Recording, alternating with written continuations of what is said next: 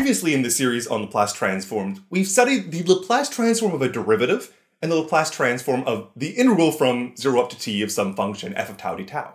In this video, we're going to reverse the process. Instead of taking the Laplace transform of a derivative or of an integral, we're going to take the derivative or the integral of a Laplace transform. So our goals are going to be first take the derivatives of Laplace transforms, second take integrals of Laplace transforms, and thirdly, we're going to do a whole bunch of examples. In, in particular, we're going to look at a very famous differential equation called the Bessel equation. Let me begin with the definition of the Laplace transform. Here I have big f of s, which is the Laplace transform of little f of t and is defined by this particular improper integral. Now, what I want to try doing is taking the derivative of this with respect to s on both sides. So on the left, I just get f prime, but on the right, well, this is an integral with respect to t. So the derivative with respect to s can just come to the inside of the integral. In fact, the only spot where s appears is in the exponential. So if I bring that dds in, what it does is take the derivative of that exponential e to the minus st, and that just brings out a factor of minus t. But then looking at this integral that I get, that just looks like the Laplace transform of, well, the function minus t f of t. Indeed, it takes that minus t f of t, it multiplies it by that negative exponential, takes it some proper integral. That was the definition of the Laplace transform. That is, the derivative of the Laplace transform, the derivative of capital F, is not related to the derivative of the original function, the lowercase f. Instead, it's the original function, but multiplied by negative t. If I take this derivative n times, every time you take a derivative, you multiply out by another factor of minus t. And so if you take n derivatives, you get the final formula, which is that it is a minus 1 to the n if you've taken the derivative n times. And then it's the Laplace transform just of t to the n times f of t. Let's see a couple examples of this. The first one I'm going to consider is the Laplace transform of t times sine of kt. First, let me remind you what the Laplace transform of just k times t was, which is k divided by s squared plus k squared. We've seen that earlier in the series.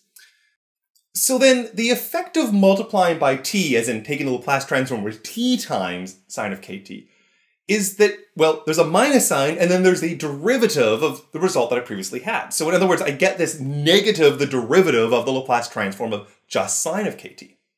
We can compute that derivative and that's just going to give us this minus 2 times sk and then divided by the denominator squared. So this s squared plus k squared all squared.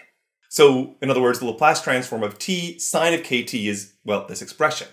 Now, this example could have been done without this particular technique. Indeed, you could have just written down the definition of the Laplace transform for t times sine of kt. It would be an improper integral. You could have done some integration by parts. It would have been longer and messier, but you could have got it.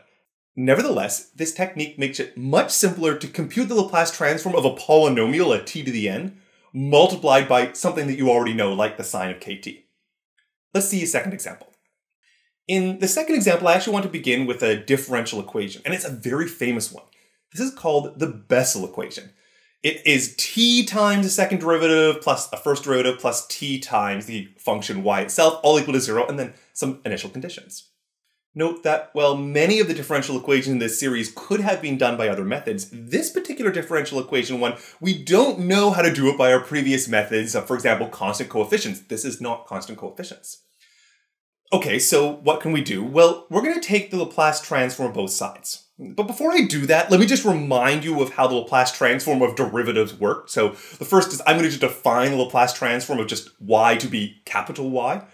Then if I take the derivative, we had a formula for that. It was s times this capital Y minus y at the value of zero. And then the second derivative likewise had a formula. It was s squared times the capital Y, then minus s times the first initial value y of 0 and then minus just the y prime of 0. These formulas have been computed previously, and that's how you take the Laplace transform of derivatives. Okay, so then if I want to plug that into my formula, I'm going to get this long, messy expression. Let me explain. I'm going to first focus in on the ty double prime term. The multiplication by t at the front, when we take the Laplace transform, is going to result in, well, a negative derivative according to my formula. And then y double prime is this expression that I've plugged in. The only difference is I'm going to substitute in that y of 0 is 1 and y prime of 0 is 0, and that's why I get the negative derivative with respect to x of s squared y of s minus s. Okay, let me look at the second term here. So now I'm taking the y prime term. This is now just plugging in s y of s minus y of 0, which we will evaluate as 1 given the initial condition. And then finally, we have a ty. The effect of the t is once again taking a negative derivative. And then the Laplace transform of little y of t is just big Y of s. On the right-hand side, the Laplace transform of 0 is 0, nothing to say there. Okay, cleaning up a little bit. Now I need to evaluate this derivative. So the first derivative on the s squared y of s is going to result in a product rule. So I get that result. Negative the derivative of minus s gives you a plus 1. There's no derivatives on the second bracket, so I copy it down. And there is a derivative on the third bracket, and so I have to take a capital Y prime of s. I can clean this up a bunch. There's a plus 1 and there's a minus 1. There's two different y prime terms, so I can put those together. This is just going to leave me with minus s times y of s minus s squared plus 1 times the derivative y prime of s equal to 0. So what do I have now? Well, it's kind of interesting. This is a differential equation in capital Y of s. This is quite different than what we've done in the past. Previously, when we were doing Laplace transforms, we applied it to a differential equation, you got an algebraic equation out of it, and then you try to solve that algebraic equation. Well, in this example, you start, but now, because of those factors of t in the original differential equation, that those t factors result in derivatives of the Laplace transform. Now we have the original differential equation when you take the Laplace transform of it becoming a different differential equation. In fact, I can clean it up because it's a separable differential equation and say that this is y prime of s over y of s is equal to minus s over s squared plus 1. Now, this is still helpful to us because the original differential equation was second order and we didn't know how to begin with other methods. But now, after taking the Laplace transform, yes, it still is a differential equation, a new one, but it's first order and it's separable, and so it's not as bad. Okay, let me look at that particular one in isolation. So if I want to solve this, I'm going to take the integral of both sides, a separate differential equation. On the left, that's going to give me a logarithm when I integrate it out. On the right-hand side, well, again, a logarithm. I'm going to use the substitution that u is s squared plus 1. So this looks like the derivative of u divided by u that gives me a logarithm of u. I have to adjust the constants because there's only an s on the top, not a 2s. This gives me a coefficient of minus 1 half at the front and then a plus c. I then bring the minus 1 half that was out the front and use my log rules to put it up in the exponent. And then I'm going to take the exponential of both sides here to get that y of s is a new constant. Additive constant turns into a new multiplicative constant when you take the exponentials. And then, well, the exponential and the logarithm cancel, so I'm just left with this s squared plus 1 to the power of minus 1 half, which I'll write in the bottom as a square root of s squared plus 1. So the point is, I started with a differential equation, I used the Laplace transform to get to an easier differential equation, and I've solved for that differential equation. Doing the inverse Laplace transform of this is actually somewhat tricky, and I'll leave it as an exercise for you to do as a bit of a bonus the basic idea is to take this expression and expand it using the binomial series, and then to take the term by term inverse Laplace transform, you'll get some series solution to this, which is a little beyond the scope of our current course. Nevertheless, we have seen how useful it can be at least. Nevertheless, we have a process that allows us to tackle this very interesting Bessel equation.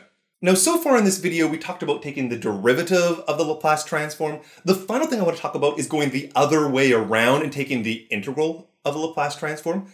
The formula is as follows. The integral from s up to infinity of your Laplace transform, capital F of some new dummy variable, sigma d sigma, is the same thing as the Laplace transform of the original function f, but instead of multiplying by a t, you're dividing out by a t. And similarly, if you divided by a larger power of t, like t squared or t cubed, the formula would work similarly. You take multiple integrals in that case. So the point is, if you know the Laplace transform of some function little f of t, then if you take the little f of t and either multiply by t's on the top or divide by t's, then the result is going to be that you take the Laplace transform of the thing you know and either take derivatives of it or integrals of it. The proof of this is somewhat similar to the proof of the differentiation side, and again, I'll leave that as an exercise for you. The final thing I haven't talked about yet is what are the assumptions under which these two different formulas work? Well, the assumptions are actually very similar to the assumptions for when you can say Laplace transforms exist in the first place. Namely, I'm going to assume that my function little f is going to be piecewise continuous for all values of t being greater than or equal to zero. And then secondly, and this was sort of the important one, I'm going to assume that is of exponential order, which you'll recall meant that the magnitude of f was smaller than some exponential with some constant in the exponent c. And then these formulas are valid for all values of s which are greater than c. The demand of this exponential order comes about because the Laplace transform is, in its definition, an improper integral from 0 up to infinity with a negative exponential. And so for the Laplace transform to exist, that improper integral from 0 to infinity must converge. And as a result, the thing you multiply by that negative exponential can't be more than an exponential, otherwise you would fail the the negative exponential that is in the definition of the Laplace transform tends to bring everything down to zero very quickly, and that's great, unless the little f is so large that it in some sense cancels that negative exponential. So the demand that the f is of exponential order gives a constraint on how big the f could be. In practice, exponential order is an extremely and as a result, a very large class of functions are of exponential order, and so this Laplace transform method is actually very useful. Nevertheless, under these assumptions, the theorems are true.